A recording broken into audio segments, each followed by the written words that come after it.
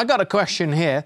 So, a few actually from uh, some of our viewers. Zul Fayuz says Chelsea's defence in the spotlight of late, with a lot of goals conceded regardless of the result. Do you guys think they need a new defence and a keeper if they want to compete for the title? I should add, these came in before the result today as well. So, I think it's just adding extra fuel to the fire.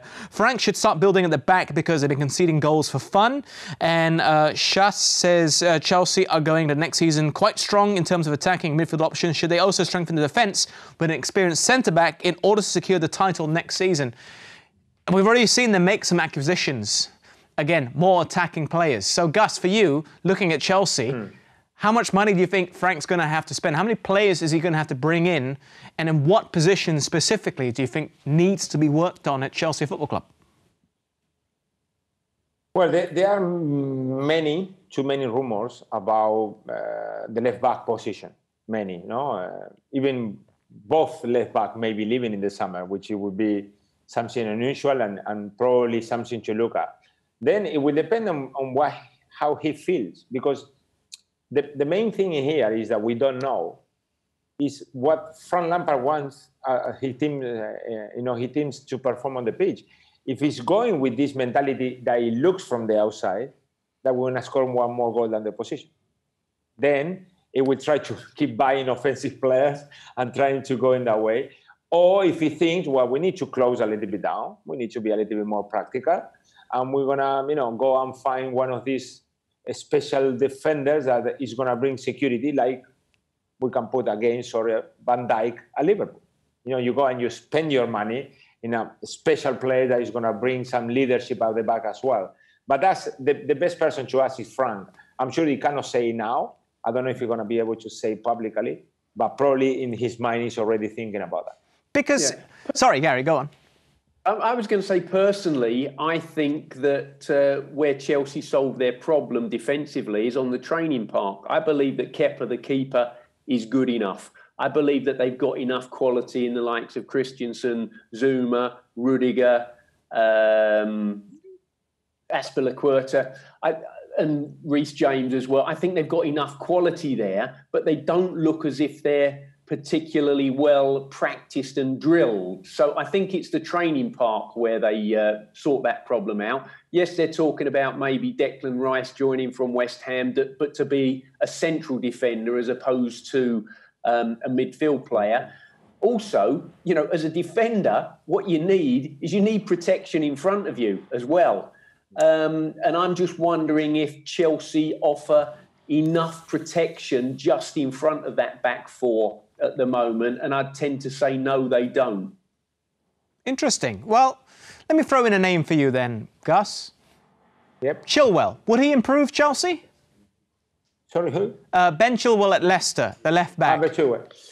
Uh, Going forward, yes.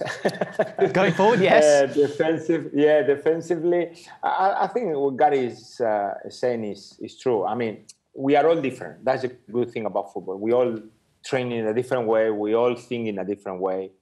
Uh, for example, myself, even if I like my team to treat the, the football, the ball very well and pay attention and try to create superiority to attack, blah, blah, blah, blah, I start my team from the back.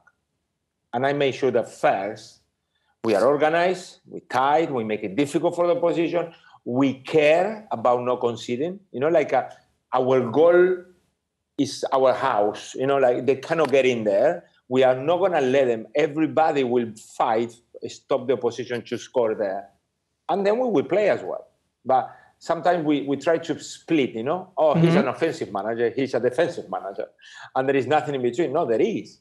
You know, the best teams in the world, they defend very well and also attack as well. So it's, it's to have the balance right. And I think that's what I would like to see Chelsea next year. A better balance in that play, a better, more practical sometimes, a better, you know, one nils. Why not? The best teams in the world, they win championships, winning one nil when you are not in a good day. Today, today was a day for Chelsea to say, okay, we are not in a good day, gentlemen. Let's make sure that we are solid. We got enough players up front to score a goal, and we win one nil, not four three because it's not going to happen all the time. So I will, I will start for that position that Gary was saying, maybe to have a, a better organization in terms of uh, defending. if it's what Frank wants, yeah, with all the respect to him, mm-hmm. it's him the one deciding but, at the end. Okay, shouldn't it be what he wants though? This is the this is a manager who played with some of Chelsea's best ever defenders. I mean, John Terry's name is the first one that pops to my mind. He had one of Chelsea's greatest goalkeepers at the back in the form of Petr Cech. Uh, surely, if anybody would understand the importance of a solid spine, a solid defence, it would be Frank Lampard. I mean, even for yourself, you think of Desailly, you think of Leboeuf, you think really good defenders. I mean, World Cup winning defenders at the end of the day. Look, I, am not going to take in Zouma eh, because he's a very strong defender, and in his day, I mean, without going too far, the tackle the other day against Crystal Palace in the last minute, you know, like it's not many, many players that they can do that action. But it, today was static. But it was static in everything. Even in the last goal, which everybody will remember because of Rudiger eh, not being able to kick the ball away, he doesn't even try to stop the cross. He's coming running like, okay, I'm in front of the defender. Okay, he crossed. He didn't even stretch himself. He didn't even have to stop. It was like it was in one of those that you're not feeling well, you know, that you are not there, concentrate enough to stop the opposition from scoring. And sometimes I say in football, one player a team can carry in a game. Two players, it start becoming difficult. More than two, you cannot carry two or three players having a bad day because the opposition plays. And if you play against a team like Sheffield United nowadays, you're going to lose. Okay, not 3 0, but you know, probably you're going to lose. And that's what happened to Chelsea today. There were too many that they were not at the level that you need to be uh, to win football games. Well, Zouma today, I was reading, he's linked to, to join Tottenham. So basically doing what Gus Poyet did way back around, I think it was uh, 2000, 2001 when you joined Tottenham. Yes. Well, that, that's more Mourinho, no? Mourinho's absolutely love him, uh, we have to say. He was the one important. Even playing, if you remember, as a central midfielder, which was a surprise for me as well. But okay, they see me, you know, what I said before, we are all different. Uh, you know, some people prefer this type of defender. Some people prefer another ones. Me, I had Marcos Alonso with me at Sunderland. Um, Marcos, going forward, you have to say little. Now, going back, you need to be on top of him daily. Daily. That's what Gary said. That's the most important thing. Daily. The Monday, the Tuesday, the Wednesday in training. Then to get to the game in the best way. And it doesn't happen in one week. You need maybe three months to put in the head of a player who is very offensive that there is other responsibility first that he needs to do. Yeah, and he can do it because he done it for me. So All right. It's, it's, it's important.